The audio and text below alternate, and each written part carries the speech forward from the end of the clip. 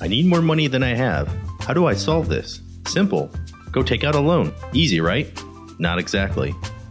Long before credit scores, human judgment was the key to deciding the risk or quality of a potential borrower. Not only was this a painstaking process, but it was also unreliable. Eventually, a point system was developed that eliminated most of the human bias that previously existed. So, what is credit score and how do I know if mine is good or not?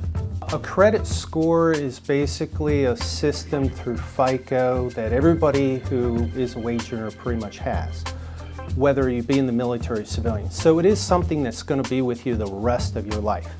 A good credit score depends on the scoring system used by your particular lender. Different scoring systems use different scales, and different lenders use different systems.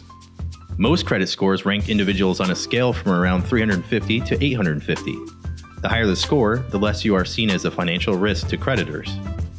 My FICO is the collector that kind of came up with this patented system as far as determining a score. And each credit reporting agency maintains its own algorithm in saying uh, the probability of you being paid back. So Equifax, TransUnion, and Experian are those that do the credit reports and credit scores. A score of 680 or higher would generally be considered good, with the national average being around 692. A lower score can be caused by a lot of different reasons. Past behavior, for example, could mean your payment track record hasn't always been perfect. Also, always paying in cash and not having established credit can even have an impact believe it or not. Let's just say a person just hasn't had enough time to develop a credit history. That makes it hard to evaluate you. It is extremely important to start one's credit history on the right foot because it can affect your finances. For example, Sailor A and Sailor B take out a $20,000 car loan and pay it back over 5 years. Sailor A has a 600 credit score and Sailor B has a 720. Sailor A will end up paying $135 a month more than Sailor B. That's over $1,600 a year difference in their payments. A not so good credit score can also affect military members professionally, not just financially. Those people that might lose choice assignments because they don't maintain a certain credit score um, would be affected.